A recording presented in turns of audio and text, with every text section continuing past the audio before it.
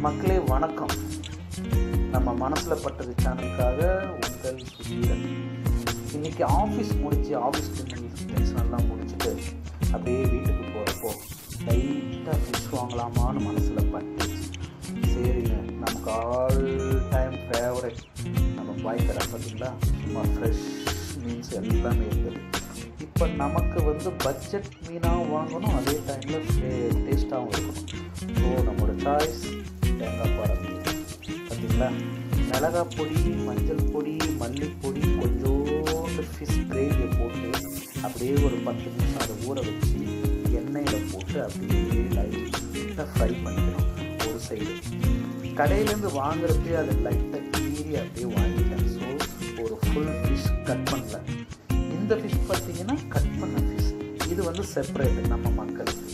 So அவங்க தனியாக அதை ஃப்ரை பண்ணி சாப்பிடுவோம் இந்த மீனும் ஃப்ரை ஸோ ரெண்டுமே. இப்போ பார்த்தீங்களா எண்ணெயில் போட்டு ரெண்டு சைடுமே மாற்றி மாற்றி நம்மளால் பொறிச்சு அழகாக அந்த தட்டில் இப்போ எடுத்து வச்சாச்சு. ஸோ இது இன்னும் ஃபிஷ் நம்ம இந்த டிஷ் இன்னும் முடியல.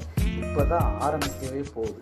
கொஞ்சம் லைட்டாக சின்ன சின்ன சின்ன பொடி வெங்காயமாக எடுத்து ஒரே ஒரு தக்காளி அதையும் நல்லா பொடி பொடி பொடி பொடி பொடியாக அரிஞ்சு அதை ரெண்டுத்தையும் மிக்ஸ் பண்ணி ஒரு நீட்டு பச்சை மிளகாவை எடுத்து கிராஸ் கிராஸாக கிராஸாக கட் பண்ணி அதை அப்படியே அந்த பொரிச்சு எண்ணெயிலேயே போட்டு லைட்டாக வதக்கிட்டோம்னா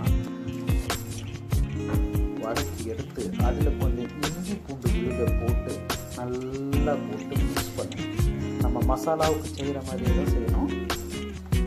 ஸோ நல்ல மசாலா மிக்ஸ் ஆனால் இஞ்சி பூண்டு போடுறப்பே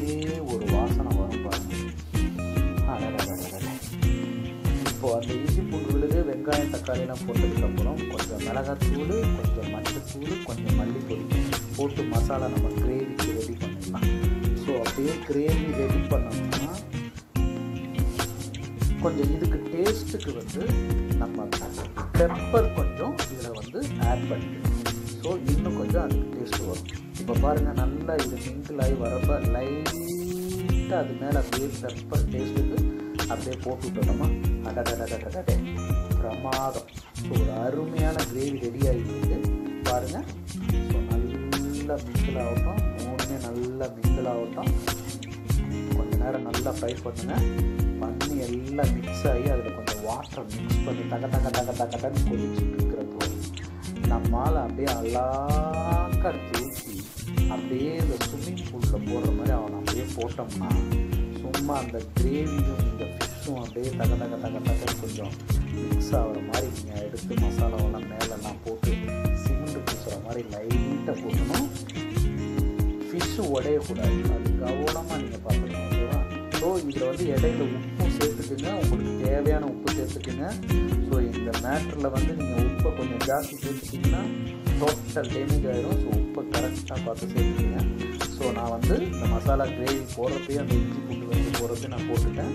ப்ளஸ் இந்த மீனுலேயும் கழுவிடப்போ கொஞ்சம் போட்டேன் இப்போ பாருங்கள் மசாலா எல்லாம் எல்லாம் கிரேவியாக இப்போ எல்லாத்தையும் இந்த பையன் உறிஞ்சிட்டான் பாதி மசாலா உள்ளே வச்சுட்டான்.